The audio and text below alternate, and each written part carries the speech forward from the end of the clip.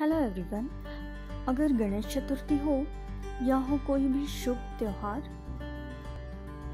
मराठी थाली में पूरन पोड़ी का एक अलग ही मान होता है। और अगर आप भी इसी तरह से पूरन पोड़ी बनाना चाहते हैं तो आइए मेरे साथ और हम मिलकर बनाएँगे बिल्कुल फूली सी पूरन पोली जो बिल्कुल सॉफ्ट होगी। तो देख लेते इसकी सामग्री। मैंने मेजर करके लिया है दो कटोरी दाल और हम अब इस दाल को तीन से चार पानी से अच्छी तरह से धो लेंगे। दाल हमारी धुल चुकी है तो हम इसमें मिलाएँगे दो गिलास पानी। तो पानी मिलाने के बाद अब मैं इसे कर लूँगी सो दो घंटे के लिए, क्योंकि इसकी कुकिंग प्रोसेस शुरू हो जाएगी। मैंने लिया है दो कटोरी गुड़, और ये गुड़ मैंने उसी कटोरी से मेजर किया है, जिस कटोरी से मैंने मेजर किया था चने की दाल को। चाहिए आधा टुकड़ा जायफल छः से सात इलायची और एक चम्मच चीनी। हमने अब इसे ग्राइंड कर लिया है और आप देख सकते हैं इसका पाउडर बन चुका है। तो पूरन पुड़ी की आउटर कवरिंग के लिए अब हम गूंद लेंगे एक आटा, जिसके लिए मैंने ले रखा है एक बड़ी कटोरी, गेहूँ का आटा, एक छोटी कटोरी, मैदा और आधा स्पून से भी कम हल्दी। हमने ले रखी है एक बड़ी सी परात, क्योंकि हमें अब आटा गूंदना है, जिसके अंदर मैंने रखी छन्नी। ये बिल्कुल महीन हमें छान लेना है। ताकि इसमें किसी तरह का लम्स ना रहे तो मैंने डाल रखा है आटा, उसमें मैंने मिलाया है मैदा, और हम मिला देंगे हल्दी। हल्दी आधे चम्मच से भी कम मिलाए। तो अब मैंने इसमें मिलाया है आधा चम्मच से कम नमक, और अब हम इसे अच्छी तरह से छान लेंगे। छानने से ये होगा कि इसमें किसी तरह की लम्स नहीं रहेगी, और आटा जो है अच्छी तरह से मिल भी जाएगा एक साथ। हमारा आटा जो है, इसे हम पहले हाथों से ही अच्छी तरह से मिला लेंगे और फिर इसमें हम डालेंगे एक चम्मच तेल। तेल डालने से ये होता है कि आपकी रोटी जो है बिल्कुल सॉफ्ट बनती है। और अब हम धीरे धीरे इसमें पानी मिलाएँगे।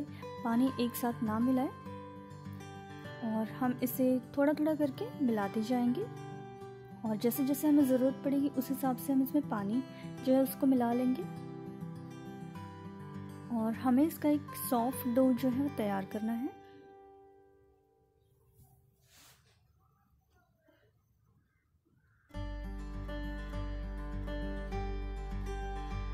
तो अब आप देख सकते हैं, मैं अपने हाथों से इसे अच्छी तरह से मसल रही हूँ, ताकि हमारा आटा जो बिल्कुल सॉफ्ट बने और ज़रूरत के हिसाब से आप इसमें पानी मिलाते जाएँ और अच्छी तरह से इसे पाम से आपके हाथों के मसलते जाएँ। तो अब आप देख सकते हैं, आटा जो है वो तैयार हो रहा है। और अब हम दोबारा से इसमें मिला देंगे एक चम्मच तेल। और अब दोबारा से हम इसे अच्छी तरह से मसल लेंगे।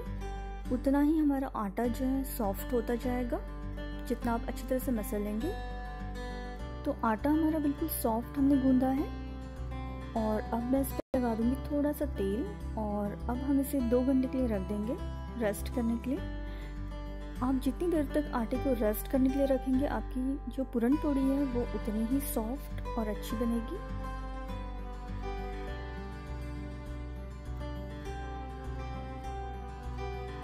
तो आप अभी देख सकते हैं कि चने की जो दाल है हमारी, वो अच्छी तरह से भीग कर फूल चुकी है। तो हमने ले रखा है एक पतीला और इस पतीले में हम चने की दाल पानी के साथ ही डाल देंगे।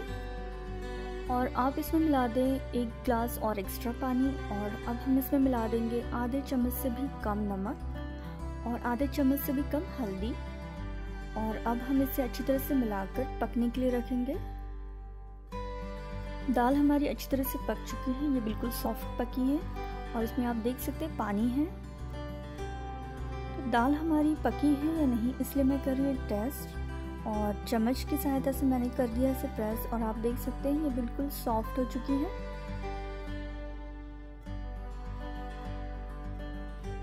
तो दाल का जो पानी है, अब हम इससे अलग कर देंगे और हमें इस दाल के पानी को फेंकना नहीं है।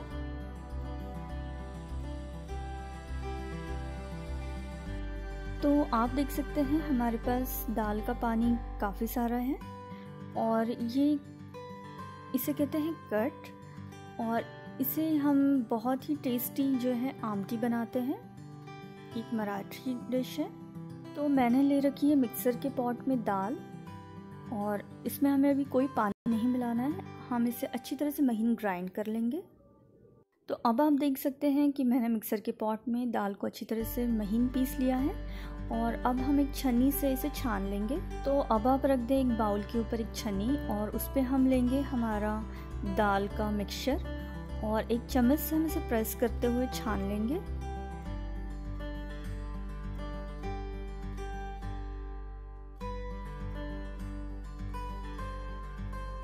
तो हमारा दाल का जो आटा है, आप देख सकते हैं, इस तरह से महीन निकलेगा। तो दाल का जो आटा है, वो मैंने छान लिया है और ये अब बिल्कुल रेडी है।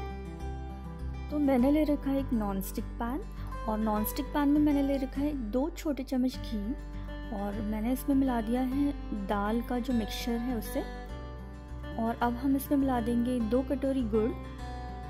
ध्यान रहे कि क्वांटिटी दाल की जितनी ली है, उतना ही हमें गुड़ भी चाहिए। तो अब गुड़ जो है, वो दाल के साथ मिक्स होता जाएगा और हमें चम्मच जो है वो लगातार चलाते रहना है।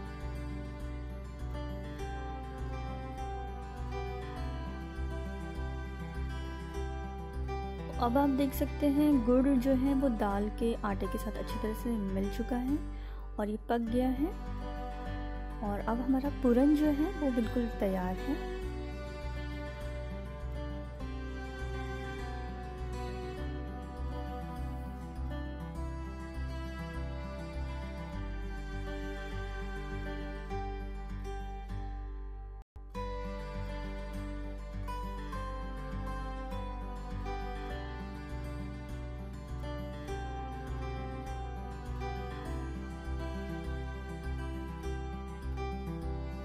हमारा पूरन अब पक चुका है और अब मैंने इसमें मिलाया है सात से आठ इलायची, आधा जायफल और एक चम्मच चीनी का पाउडर, जिसे मैंने ग्राइंड करके रखा था। तो मैंने गैस को अब बंद कर दिया है और अब मैं इसे इस पाउडर के साथ अच्छी तरह से मिला रही हूँ, ताकि इसके फ्लेवर्स जो हैं वो पूरे दाल में अच्छी तरह से मिक्स हो जाए।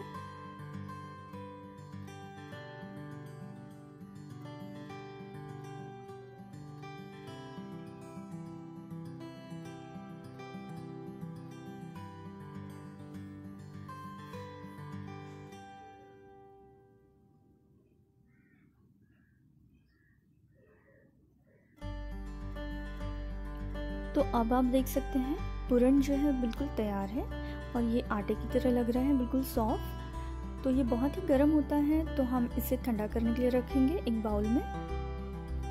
तो मैंने अब दोबारा से आटा परात में निकाल लिया है। दो घंटे तक हमने इस आटे को रेस्ट करने के लिए रख दिया था। और अब आप इसमें तेल डाल दें एक चम्मच फिर से और आपके हाथ का जो पाम है, उससे इसे अच्छी तरह से मसलते रहें।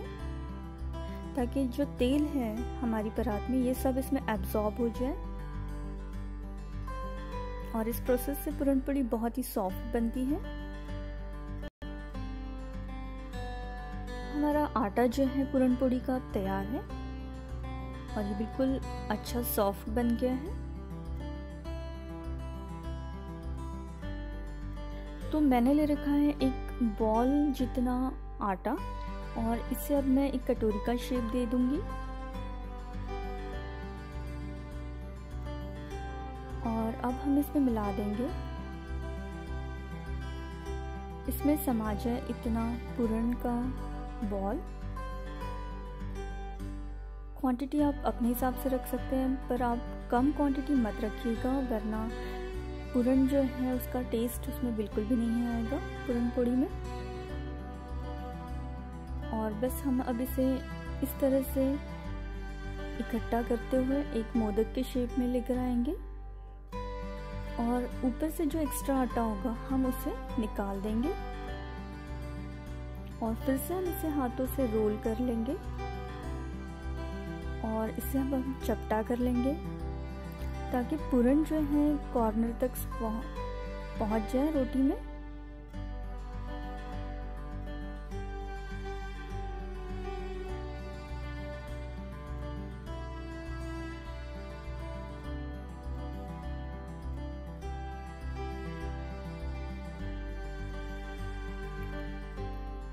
अब हम एक सूखे आटे से डस्ट कर लेंगे इसे और इसे अच्छी तरह से हल्के हाथों से बेल लेंगे।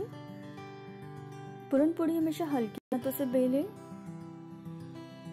वरना ये फट जाती है।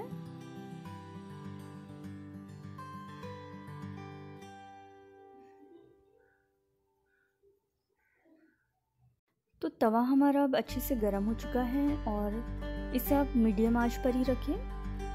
और आप जैसे देख सकते हैं, मैंने इस पर पूरन पूरी डाल दी है। और जैसे जैसे ये ऊपर आने लगे तो आप इस पर साइड से घी छोड़ना शुरू कर दीजिए।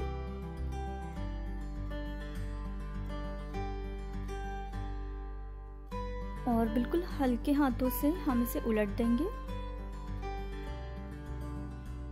और हम अब ऊपर से भी इस पर घी छोड़ने लग जाएँगे। पूरन पूड़ी में अच्छा खासा हमें घी डालना है तो इसे अवॉइड मत कीजिए।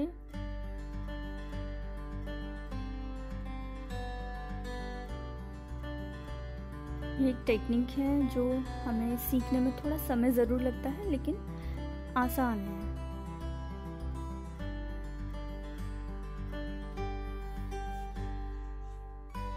तो आप देख सकते हैं, मैंने पूरन पोड़ी को दोनों तरफ़ से सेक लिया है अच्छी तरह से। और ये हमारी पूरन तैयार है। तो बस, अब हम इसी तरह से सारी पूरन पोड़ी जो है, हमारी बना लेंगे।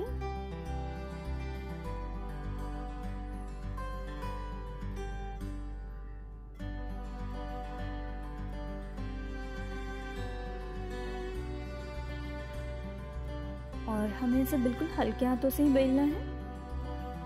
ज़ोर बिल्कुल भी मत लगाइए, वरना ये फट जाती है।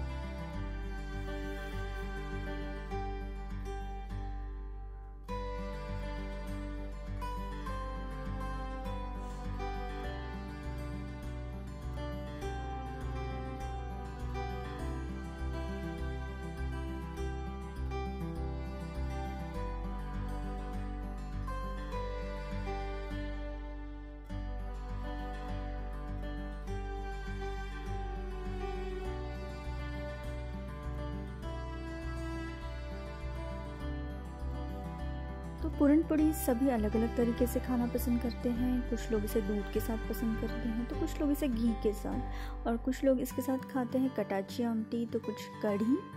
और कुछ लोग तो इसे खाते हैं अचार के साथ। तो जैसे भी आपको पसंद आए, आप इसे ज़रूर बनाकर खाएँ।